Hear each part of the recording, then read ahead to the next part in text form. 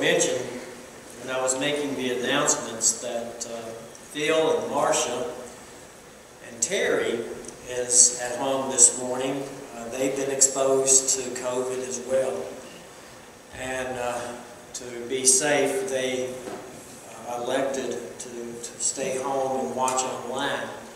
We have a lot of a lot of our members watching online, and you know, it's times like this we have the weather that we do, when we have the pandemic that we're having, that it's wonderful that we're able to come together as a family and still worship, even though we're not in the same building. We're able to worship together. And you know, that's exactly what we're commanded to do, is to worship together our Heavenly Father.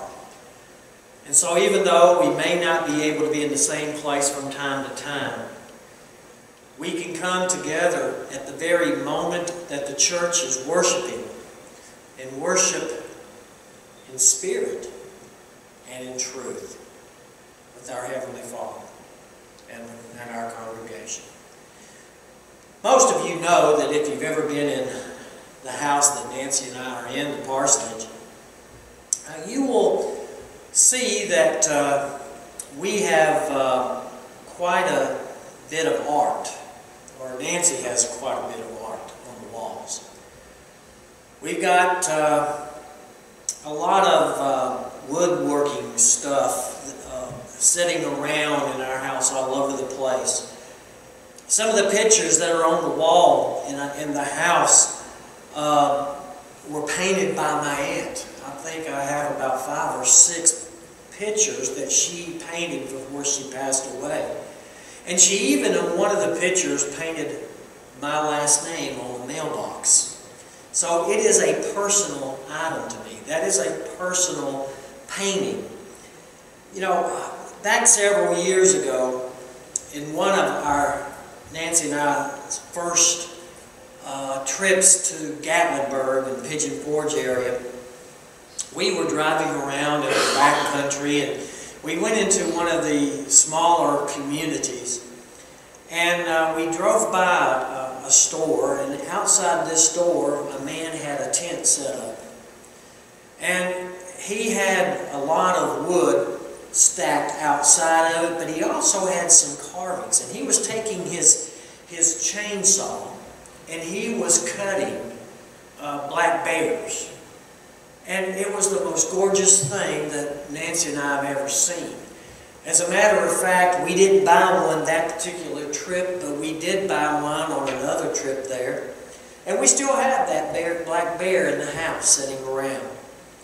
You know, at the beginning when this guy started cutting this, this uh, bear out of this log, um, it just looked like an ordinary piece of firewood. But it eventually became a work of art. And some of these men and even women over in that area are very uh, skilled at drawing or cutting out certain figures. I know that I'm nowhere close to that. But these artists, and I call them that because it, they are an artist when they're taking something by the definition, they take something that is not the, the thing, uh, they take a piece of wood, let's just say, and from that piece of wood they can, they can visualize what they want to do to it to make it come alive and be something. They are an artist in all sense of the word. The art begins with that picture in their mind. And then the artist little by little, takes that piece of wood, either by a chainsaw or by a knife or whatever, and carves away the wood until eventually it becomes a work of art. Think about that. Because, in a manner of speaking, that's exactly who you and I are as a Christian. Because when we come to God, we are stained, we are filthy. And little by little, the, the stain of sin is cut away. Because, and I say little by little, because we don't know everything when we first become a Christian. But as we grow as a Christian, as we learn what we are to do, and we repent and we change those things, we, we carve off or we cut off the, the negative things, and eventually the great picture of a Christian occurs. Now, that's what I want to remind us that you and I are fearfully and wonderfully created. And then I want us to think about what we need to stay this way. There are two texts that I would like for you to go to, or you can read it here. The first text is Genesis chapter 1 and verse 27, where the Bible says God created man in his own image. In the image of God, he created him, male and female. He created them. Now, I don't want to be disreverent or irreverent to God by any means and, and in how He created man. But when I see these artists taking a piece of wood and carving out something beautiful, that's how I see God creating you and I. Because He takes something that is not perfect and He makes us perfect because we are in Christ. The next text I want you to look at is Psalm 139 and verse 14. Where David, David is in this chapter, and it's a wonderful chapter to, to read. But in Psalm 139, David is, is letting you and I know of God's perfect knowledge of man. And in verse 14, he says, I will praise you, for I am fearfully and wonderfully made. Marvelous are your works, and that my soul knows very well. The two words that I want us to look at briefly is the word fearfully and wonderfully. The word fearfully has the idea and meaning behind it that we are to fear God with reverence. There's, it's a dual definition. Fear God, but fear God through the reverence that we have for God. The other word is wonderfully. And that word has the idea that something is set apart. You and I, man, are made wonderfully to be set apart for a certain service, a certain thing, to serve God. We were created by God in God's image. Each one of us are beautifully made as we enter this world. But just as the bear, that if you leave it outside after the artist cut, uh, carves it out and paints it and does his staining to it, if you leave it outside, this, this work of art will eventually become weathered because of the weather elements. That's how you and I can, become if we allow it. We can be weathered because of the world, the elements of the world. But life can be restored to this wood bear by taking the, the the bear in the condition that it is and clean it up and stain it again and or put some kind of stain on it or, or oil on it that brings out that beauty of that wood once again. That's how you and I can be once again. By looking at ourselves compared to the Bible and taking off the dirty, the dirt, the sin. So what I want us to talk about for the next few minutes is how or what we can do to make ourselves beautiful, spiritually speaking, again. The idea here is that if I want to renew in 2022, I need to carve away the bad so that I can restore the good. Now, we, we get things stained in our life again when we mess up and we sin or as we are learning. And sometimes some of the things that, that that involves is the personal deficiencies that, that we have. Now, what do I mean by that? Well, let's go back and let's read verse 1, uh, chapter 1 and verse 27 again. God created man in his own image. Now, I want us to think about that word image because that idea is from the image that God had for you and I, He created us. And the idea is that something was cut out or something that was molded from nothing because God created us from nothing. Now, the idea of that artist in Gatlinburg, he created something. He had an image in his mind, and he created something, a statue, from a, a, a piece of wood. But God made us. God created us. He formed us in the image that He desired for us. So what do we need to do?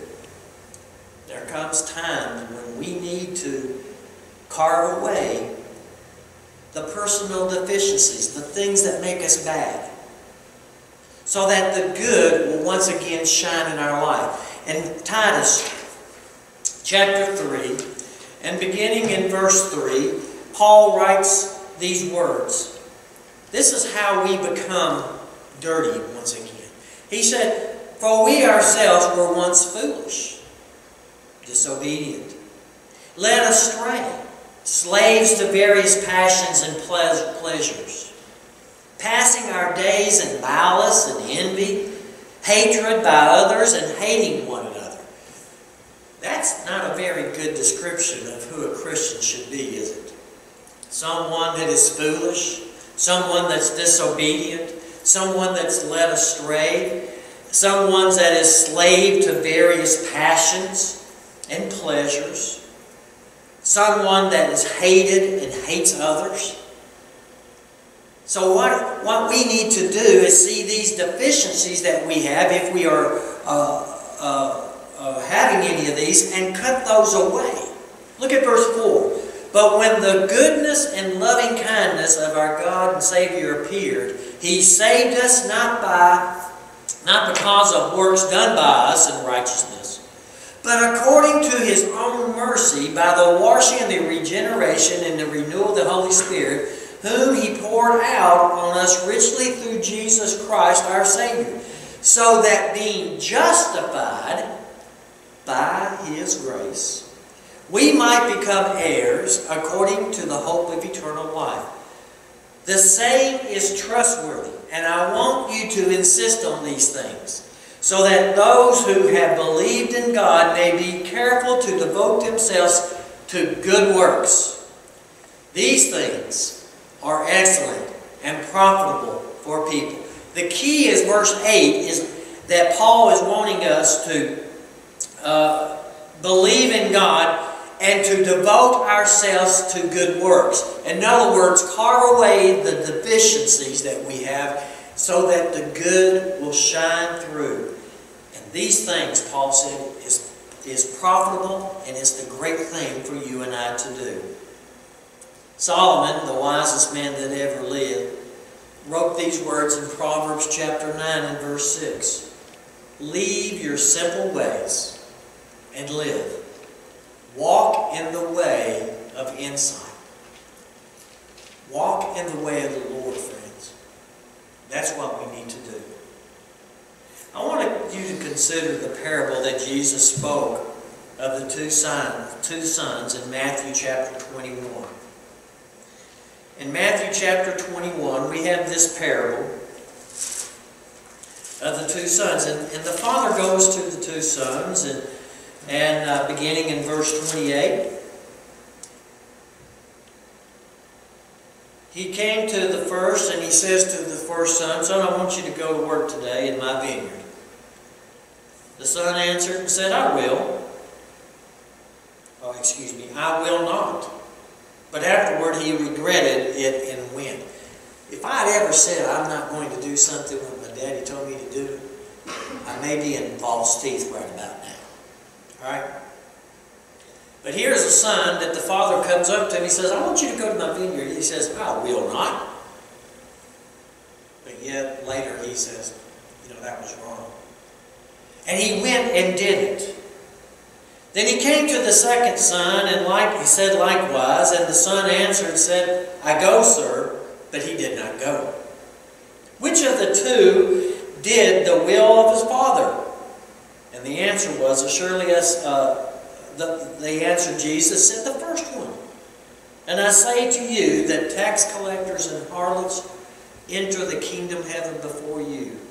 And the reason is, John came to you in the way of righteousness, and you did not believe him, but tax collectors and harlots believed him.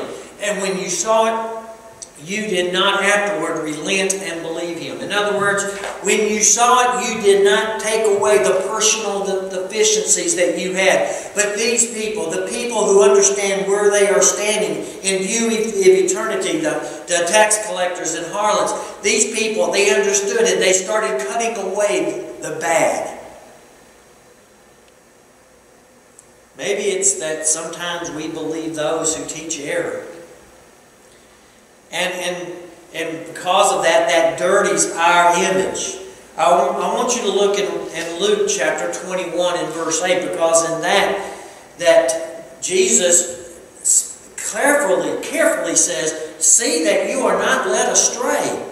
For many will come in my name, saying, I am he, and this is the time at hand. Do not go after them, Jesus said. So it may be that when we start to follow something that, or a person teaching something that is not right, and we see it, we need to cut away that deficiency. But when we start cutting away the old, so that the new is being revealed, Paul says we've been set free from sin. And it's the sin that we are cutting away from us. And we do it because we realize who we serve. And as, as Paul wrote here, he says, we are slaves to God. The fruit you get leads to sanctification and its end, eternal life. Why do we cut away deficiencies? Is so that we can have life eternal. So we may need to cut away deficiencies in our own life. But we also may need to cut away the world. The world, you know, the world has a, a way of really grabbing a hold of so many of us. And when I say the world, it's not just worldly things, it's things that are in the world, the, the negativity of things in the world, and it gets us down as Christians. We, we allow the pandemic to get us down, we allow this or that to get us down because it's in the world. We quit trusting in God. Friends, that's, we, we need, if we're going to defeat, defeat this, this virus that's going around, if we're going to continue to grow as a church, we need to quit trusting the world and trust God more and pray to God more. We need to carve away the world from our life, maybe even from our congregation. This week is my wife's birthday. I'm not going to tell you how old she is, but if you ask me later, I'll let you know. And so I wanted to surprise her. She has always said that she wanted to go to Pigeon Forge to go to the Smoky Mountain Murder Mystery Dinner Theater. And so I called up this dinner theater to inquire about the shows, the, the plays that they uh, that they had. It's it's it's a play, and, and they they act it out on stage while you're eating, and they, they get the, the people in, in the audience to interact with it. And it sounded like a pretty good time. But when I called about the play, the response I got from the operator was, all the plays that we have are adult content. And I immediately kind of got a little upset because I knew she wanted to go somewhere, to go to this. She's always wanted to go there. And so I wanted to take her. Now I could say, you know, Nancy and I are an adult. We can handle whatever adult conduct, uh, content comes out of this play. Uh, I'm not going to let it affect me because, you know, I'm an adult. But what if someone sees me going into this play? Someone who knows what this play is about or what this company is about. And they know that Nancy and I are Christians. And they know that I'm a preacher. You may say, well, maybe nobody sees you that way. God does. God would see me going in. And I know what this play and what this place is all about. Can I be sure that if I decide that because I'm an adult, I can go in and not be tempted? Friends, temptation hits every one of us. And so there is no way that I can say that I can prevent myself from being tempted. Nor would I ever want, as the husband of my wife, to be tempted in a place or cause her to be tempted and very possibly fall to temptation. So the best thing to do is not go to this place at all. And I'm not patting myself on, on my back by any means, but I think that that's something that we all need to consider. Pull ourselves away from worldly things. I believe that's how worldly things creep into the churches, that we put ourselves in those situations. And we do that even in our own homes with television. In John, uh, John chapter 15, in verses 8 through 16, Jesus lets us know that we are known to by others of our lifestyle. How we act and how that we uh, talk and, and uh, places that we go. It lets people know what we are and who we are. And when I told the lady on the phone that I thanked her for her time that I would not be buying tickets, uh, I, I, I knew that in her tone it was like, I can't believe you I would much rather go to heaven than go to that, that play, that movie theater, that uh, dinner theater. Here, here's another thought, and, and this crossed my mind too. What if Jesus comes back while I'm sitting in there? How could I ever explain that? I've always said this. It's always safe to do the safe thing. Don't put yourself in a place where you're going to be tempted. Go to two different other verses. Go to 1 Timothy chapter 6. Let's read verse 2. In verse 2 of 1 Timothy 6, Paul writing to Timothy says, Those who have not believing master, masters must not be disrespectful on the ground that they are brothers. Rather, they must serve all the better sense those who benefit by their good service are believers and beloved. Teach and urge these things. In other words, Paul is writing to Timothy to preach that we act the way Christians are to act. Even if we have non-believers, non-Christians that we work for, that we are all uh, that we are in, involved with or, or we come in contact with, let them see Christ living in us. Look at verse 20. Oh, Timothy, Guard the deposit entrusted to you. That's the congregation. Christians. As a minister of the gospel of Jesus Christ, I'm entrusted those that, that are part of this congregation to other Christians that I'm, and, uh, that I'm able to go and, and to see and, and maybe even privileged to preach at. But the elders here are entrusted with the members of this congregation. And, and Paul wrote to Timothy to guard the deposit entrusted to you. And, and that's what God is entrusting to the elders. Guard them. As a husband, as a leader of my home, I've got to guard my home. I've got to guard my children. Avoid the irreverent babble and contradictions of what is falsely called knowledge. People can disguise error and call it knowledge. And the church and Christians will fall victim to that.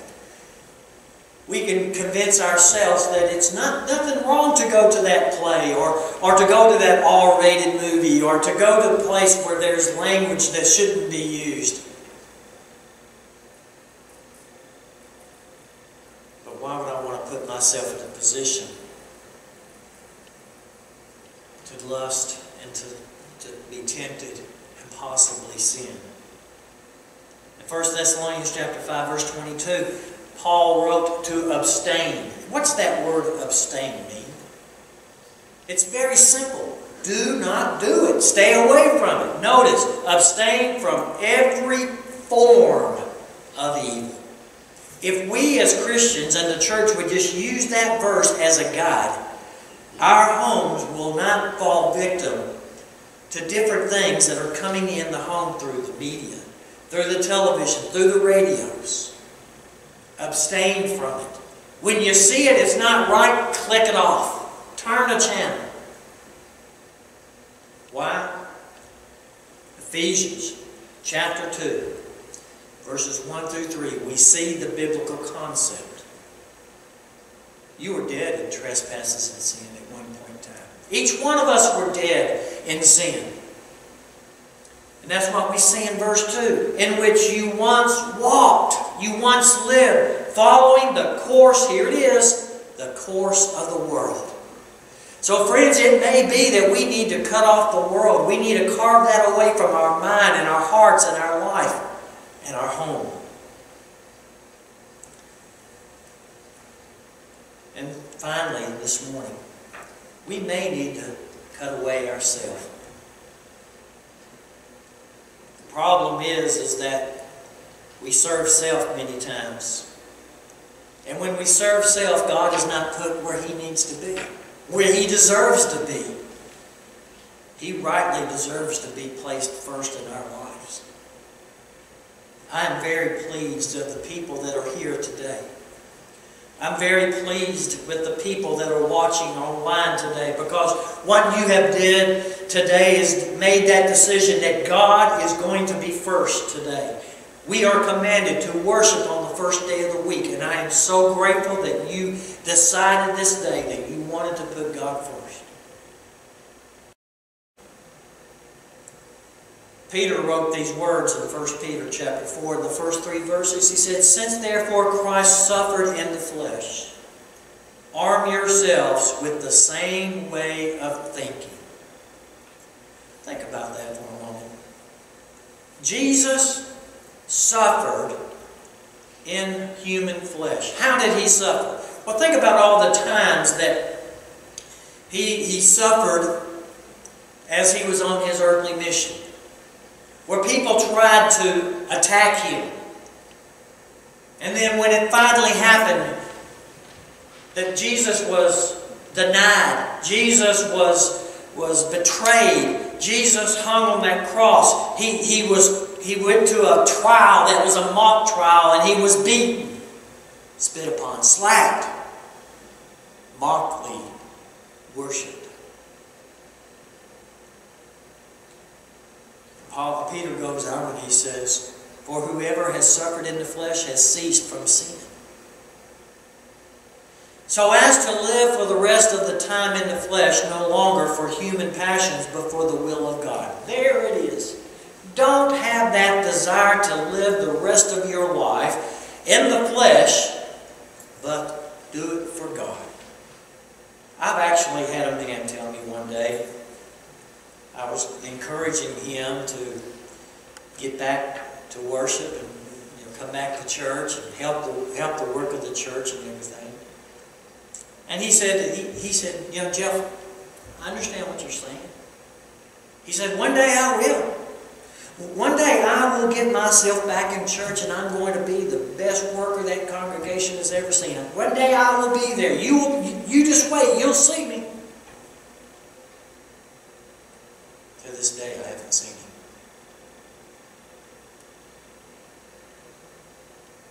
Peter writes, live the rest of our times in our flesh, not for the passions, the human passions, the worldly passions, but for the will of God.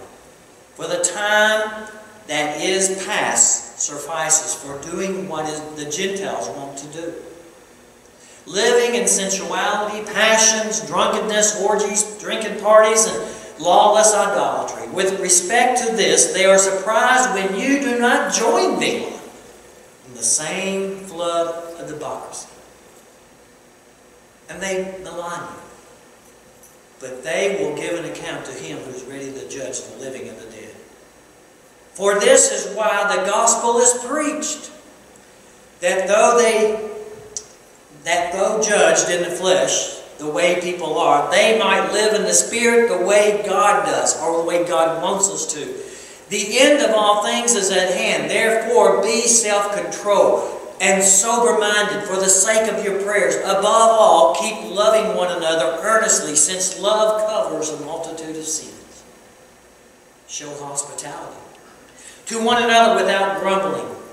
As each has received a gift, use it to serve one another as good stewards of God, varied grace. Whoever speaks one who speaks oracles of God. Whoever serves as one who serves by the strength that God supplies, in order that everything may be glorified through Jesus Christ. Maybe we need to cut away self.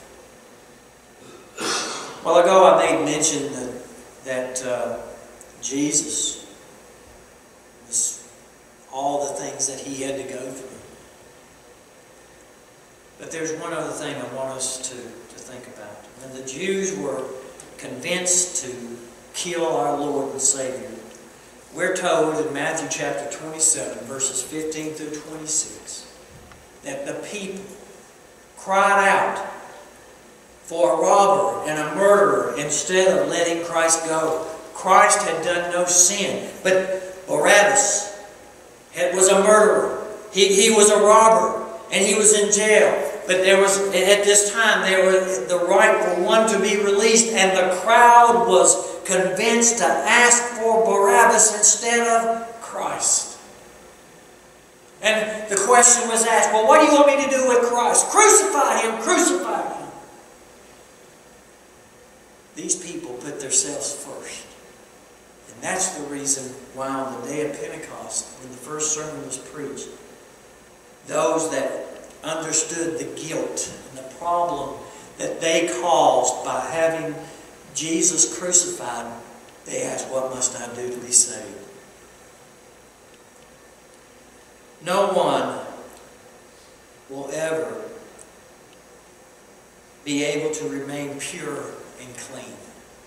Just as we go outside and we play and we work and we do different things, our physical body gets, gets filthy and we have to come in and, and wash that, that body. When, when I was younger, as a, when I was a young boy, my grandmother on my mother's side loved to uh, pick on me. She liked that commercial uh, I'm, I'm think, I think it was Jif, the, not Jif. It was a, it was a hand washing or hand soap. And she loved to pick them. Wash your hands, Jeffrey. Wash your hands. Because that was in the commercial, you remember? Wash your hands, Jeffrey. Mother would always ask when I would come to, did you wash your hands? Yes, ma'am. I didn't wash my hands. Why was everybody so worried about me washing my hands? Well, my mother didn't want me to get, get sick from germs. You see, God doesn't want us to get sick with sin. And that's why He's made it a way for us to get clean spiritually. Through obedience of the gospel, by being baptized for the remission of sins, and that's what the Bible says. But when we live our life, we can get caught up in the joys of the world if you want to say it that way. And we can become stained again. And so we need to get that stain washed away through repentance and prayer. As a Christian, new Christian, we were clean. And as we go through life, sometimes we get dirty. And we need that blood of Christ to wash us away again. I want you to look at one more verse one more text. I want us to go over to Titus chapter 3 and look at verses 3 through 8. Because this is exactly what we read a while ago, where Paul encourages Titus to carve away deficiencies, and that's what he wanted us, uh, wanted, wanted to be preached. He said, We ourselves were once foolish, disobedient, led away, or led astray, slaves of, to various passions and pleasures, passing our days in malice and envy, hated by others and hating one another. But when the goodness and loving kindness of our God, of God our Savior appeared, He saved us not because of works done by us in righteousness, but according to his own mercy. Because of God's mercy, because of God's love, we can once again be pure and clean. The angels in heaven rejoice over one sinner who repents. And maybe there's someone here today that needs to do that very thing. If so, you need to make that decision now if you want to come and, and repent of those things and let the church pray with and for you. If you're watching online and, and you realize that you're not right in the eyes of God, let us know because we want to help you. So if you're subject to the Lord's invitation, come now as together we stand and sing.